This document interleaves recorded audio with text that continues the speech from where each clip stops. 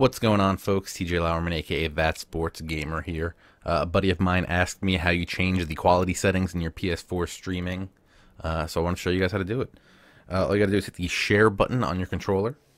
Uh, that will bring up this menu right here, and then you hit options to go to the share settings, and then you go up and select share settings. Uh, hit the X button on that. Down to broadcast settings and in here you'll see quality.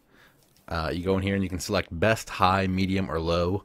Uh, it pretty much depends on how much upload speed you're going to have uh, on your network going out of your house. Um, I would say start at the highest and work your way down. Um, hopefully you can start and keep it at best. Uh, but if not, just uh, just keep playing around till you get something that works.